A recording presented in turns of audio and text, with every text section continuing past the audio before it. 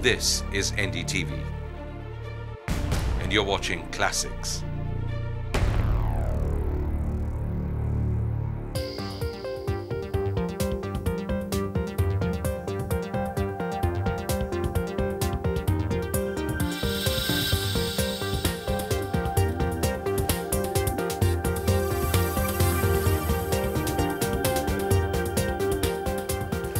Hello and welcome to India's Tryst with Destiny, another in our series on this country's 60th year since independence.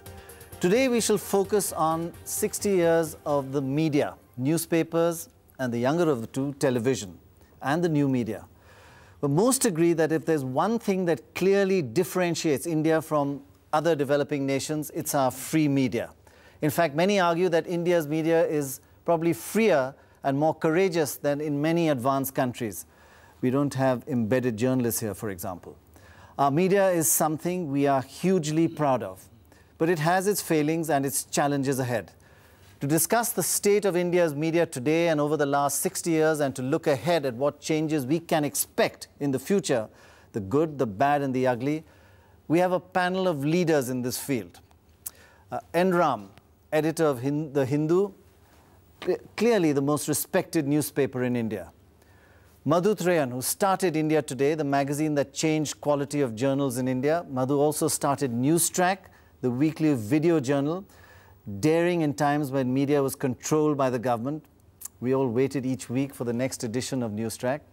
Vinod Mehta, the editor who revolutionized newspaper journalism and presentation and who's now editor of Outlook. And most of all, we have Amita Malik, both a practitioner of journalism and a columnist and India's best known critic. I must say, we're all terrified of you, actually. Uh, many would argue that, in fact, it's a little incestuous to ask media leaders to speak on the media. But I think you'll find that years of experience have converted their DNA into being objective. For uh, that's the essence of their trade. Well, let's start this whole discussion with our first basic issue that we're looking at today. Our first topic is Is India's media working with freedom without responsibility? Is there no punishment for defamation or libel? Is this a problem that we face? Ram, is this a problem that uh, the defamation laws exist, but it takes 25 years for it to be implemented? So you, basically, journalists can write anything these days, and there's no check and balance on journalism today. Is that a problem? Yes, uh, as you know, Prannoy, we are in a very strange situation where the civil process, uh, the law of civil uh, defamation takes a long time to, to come into to effect. But the other thing is deadly, criminal defamation, because there the process is the punishment, as one of the lawyers Right. said a long time ago. Yes. Uh, and they, they can harass you no end, and uh, uh, we, we both faced it, uh, anyone in this uh, trade. So I think uh, uh, the prob- we must decriminalize the law of defamation, but then the quid pro quo should be do something about fast tracking the, uh, those who civil- have a genuine grievance uh, uh, from journalists. Uh, in other words, deliver justice quickly on the civil, uh, civil defamation front. How do you do it? Ask the judiciary. Right. Yeah. But do you think that journalists should take a lead in this to make sure that there is some check and balance, that there should be huge fines on papers and, and television when they, they defame somebody uh, or there's libel? You know, it's quite clear to me that freedom and responsibility go hand in hand. So obviously, we won't argue that there should be freedom and there should be no responsibility. That is the sort of so-called prerogative of the of, of- of the prostitute.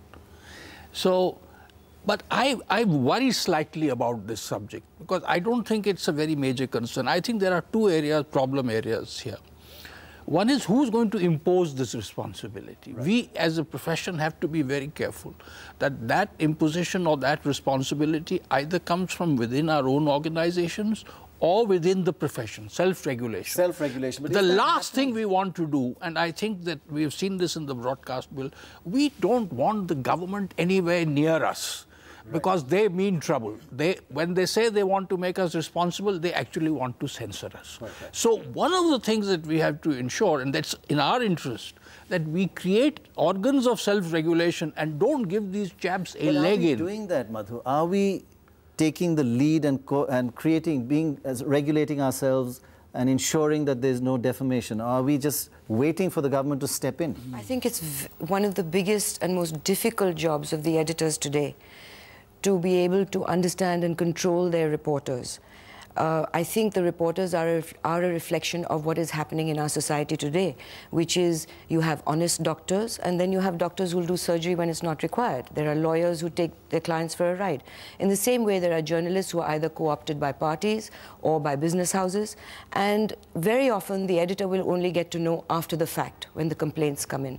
So that is a huge factor, and the editor is the only one who can create that culture. But, but however, expect then editor or journalists to regulate themselves and ensure that they are fined themselves heavily if they do some if they defame someone. Well, Will we ever do that? I, I think that you know uh, we've had many personal experiences where reporters have uh, put quotes in without asking anyone. Um, and then later on, you speak to the editor, and the editor says, Why are you taking it so seriously? It's only about the drinking age. Now, if, a, for example, my husband, they misquoted him, didn't speak to him, and wrote that he uh, says that the drinking age should be lowered. When he spoke to the editor and said, no reporter spoke to me, she says, it's such a light subject. Now, as a doctor, it's not a light subject. Of course not. So it was but taken... he had no recourse. He, I mean, he had he no sued recourse. the newspaper and this has happened years, repeatedly with uh, people we know and with us. There is no recourse because there is a high-handedness that comes in that there, of course, there are editors who take instant uh, action and there is an apology, but as you know, the apology is a little in a little box and not Right. in the same size or whatever. I mean, this business about, yes, we don't want the government to impose or get in, uh, start regulating the media because then they have different uh, objectives altogether. But is it too much to ask the average journalist or editor to regulate himself? Is he going to find himself ever? Uh, surely not. Uh, he ought to be able to do it. And coming to your own field, which is that of television, I think much more control can be exercised by the medium on young reporters. Some of them do go overboard. You cannot escape. Ram and I are editors. The can stops with him and the can stops Yes. with me. We can't keep blaming other people. If our reporters, if we have a star reporter, if there's a reporter out of hand, it's the job of the editor to crack the whip and get him back. Otherwise, what are you and I in, in uh, sitting in our chairs for? And we don't do that. We have star reporters these days who are untamed. But secondly, the most important thing here that we must remember is that we don't get into self-regulation unless we see the genie near the door. Right. When the government When the government comes, in, and then we, could be too otherwise we all sit back and we talk about self-regulation. That's what in the UK, where they threatened to censor the press because of the excesses. Because now exactly what- recently in the UK, they've had some major fines for defamation and libel. Yeah, Of and- course, Prannoy, in the reality is that we're looking at our leading daily is a paper that people know where you can buy editorial. What does that say about us? Yeah, People are read, buying it. I don't know if they're reading it. It's the leading newspaper. If you can buy editorial, what does that say to about our profession? It is done unashamedly, and it's that- never discussed on television or whatever. It's a, a subject that, we- yes, you can do it. We know that when we're reading, Everybody frowns on it, but nothing is done. And but does it worry you, Ram, that because the media in India is not doing anything to stop it, a the institution will degenerate, and b the government will come in, Yes.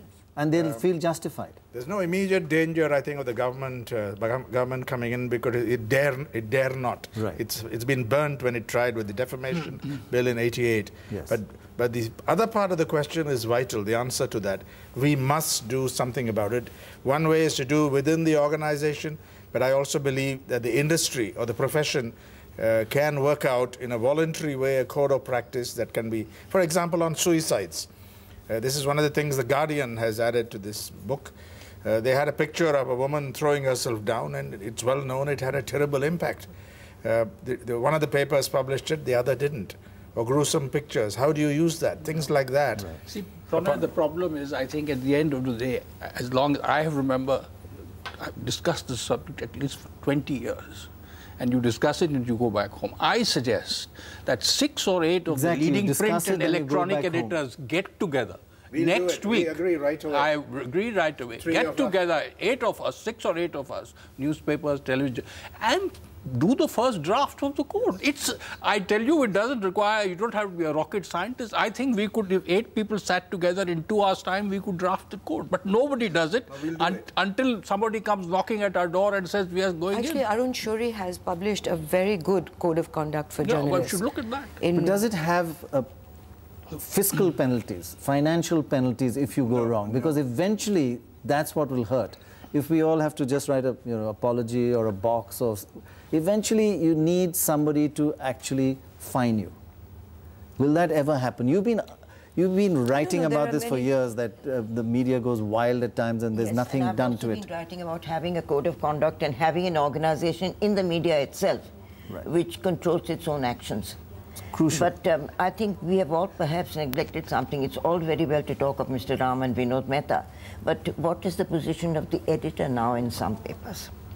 I mean, if the proprietors uh, keep on uh, letting certain things get by, especially this buying of editorials and things like that, then where do those papers stand? We should get a combination of fines and also the moral ignominy. I think, Prannoy, don't underestimate that. For an editor, uh, uh, for someone to say in a front page that this editor has been censored, I, it, I would permanently hide my head in shame. I think that is very important. And so the fines may be important, but I think to censure him and to publicly uh, expose him and, and finger him, I think that itself will also be a deterrent. Okay, we'll take a short break at that point. I think we're all agreed that it's time Indian newspapers and television editors got together and regulated themselves before the government steps in and regulates them. Uh, we'll take a break at that point. When we come back, we'll look at another issue. Are we moving from an era of the first 40 years of India where you had, had government control, at least on television, to an era, era where the market is controlling everybody? From the tyranny of the government to the tyranny of market. That's in a few moments from now.